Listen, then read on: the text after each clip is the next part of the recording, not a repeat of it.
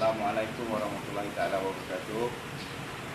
Baik, uh, sebagai seorang hamba Allah SWT juga sebagai seorang saudara Islam kepada sahabat iaitu Ikram Bizi yang mana banyak kali pernah berlaku dengan saya dalam cerita Papaya Masya Allah Eh sahabat Ikram Masya Allah uh, Sedikit nasihat daripada saya yang ni juga Yang tidak ada apa-apa uh, Semuanya Allah yang punya.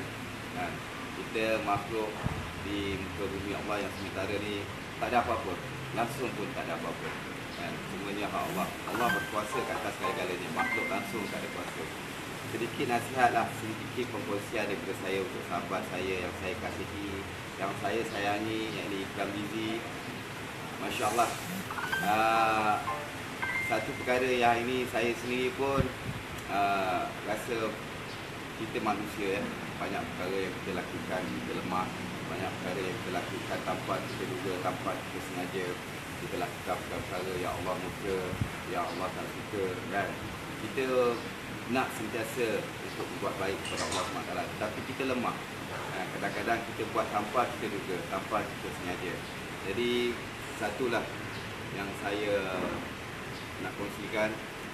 Yang baik datangnya daripada Allah SWT Yang buruk pun datang daripada Allah SWT Allah juga yang bagi kita mudarat Allah juga yang bagi kita rahmat. Jadi segalanya semuanya datang daripada Allah SWT Satu perkara ini janganlah mengharap kepada makhluk janganlah mengharap kepada sesiapa mengharaplah bantuan daripada Allah SWT ha, pasti dan pasti Allah SWT akan bantu kita. Ha, ha, buatlah satu-satu perkara setiasa dalam setiap saat setiap nafas kita dalam kehidupan ni kita buat. Allah SWT suka Allah maha baik Allah maha pengasih Allah maha penyayang Allah maha pemberi ha, dialah roh segala-galanya. Jadi kita minta dengan Allah kan? Luahkan hati kita dengan Allah SWT kan? kita luahkan hati kita kepada Maha Pencipta kan? jangan kita luahkan apa saja. Kita punya rasa duka kita punya rasa sedih kepada makhluk. Kerana kadang-kadang kita luahkan perasaan itu kadang-kadang mungkinlah kita nak melepaskan apa yang terkandung, apa yang terisi di dalam hati kita, ya, di dalam lubuk sanubari kita.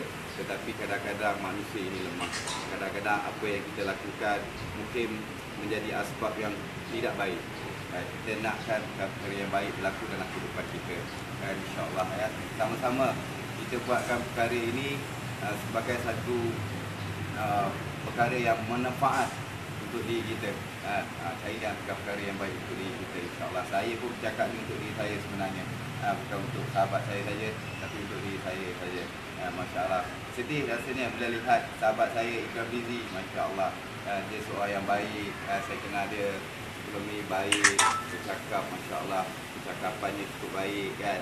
Saya sayangkan dia. Jadi kepada sahabat saya, ha, kalau ada masa, datanglah jumpa saya datanglah kan kita jumpa balik sahabat-sahabat artis-artis yang pernah sama-sama kita bekerja uh, sama-sama kita berkarya kita duduk sembang-sembang. Eh ikram kalau ada uh, anda terbaca ataupun terlihat video ni datanglah jumpa saya. Ramai sahabat-sahabat yang ingin bersama dengan anda. Kan ingin sama-sama kita berkongsi kasih sayang kerana Allah Subhanahu Wa Taala.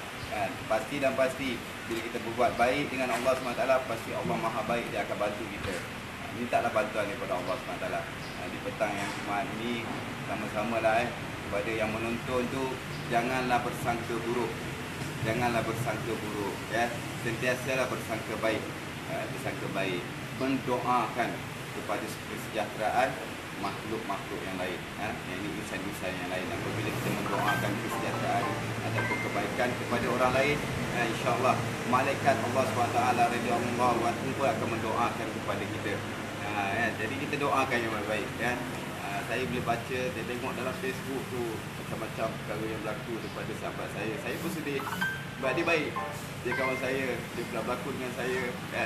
jadi graf tambahkan hati anda kuatkan semangat, dekatkan diri kita dengan Allah SWT. Ha, minta bantuan dengan Allah. Segala rahmat, segala keberkatan, segala kebaikan semuanya Allah yang bagi. Ha, Allah yang bagi. Minta, minta dengan Allah. Minta dengan Allah. Ha, jaga, jaga amalan kita. Jaga amalan kita. Perbaiki amalan kita. Saya pun lemah. Kan? Saya pun kurang kurang baik. tetapi kita kena kena berusaha untuk jadi baik. Saya pun bukan orang soleh, tapi kita berusaha untuk jadi orang soleh. Ya, kita berusaha. Tidak ada siapa yang boleh bantu kita melainkan diri kita sendiri. Dan insyaAllah ikram. Eh, best bro. Jangan lupa eh, minta bantuan dengan Allah. Jaga diri baik-baik. InsyaAllah. Tidak ada uh, tidak ada perkara yang boleh uh, ataupun musibah ataupun masalah yang tak boleh diselesaikan.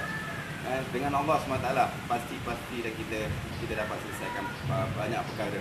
Syifa yang terbaik dalam keadaan apa saja. Uh, musibah, kesihatan, syifa yang terbaik dalam kehidupan kita yang ini membawa agama ataupun dekatkan diri kita dengan Allah SWT. Pasti dah pasti segala masalah Allah selesaikan. Uh. Ingat, Allah berkuasa, makhluk langsung tak ada kuasa hitam. Uh, eh, minta bantuan dengan Allah SWT. Uh, saya sayang awak hitam, saya sayang awak. Uh, ada masa bila-bila senang, datang ke kafe saya di Zoyaya Steamboat.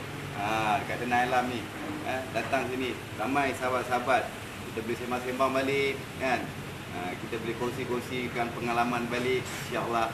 Eh, eh, baik, sahabat-sahabat yang lain juga. Doakan untuk ikram. Eh, untuk sahabat kita supaya Allah uh, berikan syifa yang terbaik kepada uh, beliau kepada dia insyaallah eh baik assalamualaikum warahmatullahi taala wabarakatuh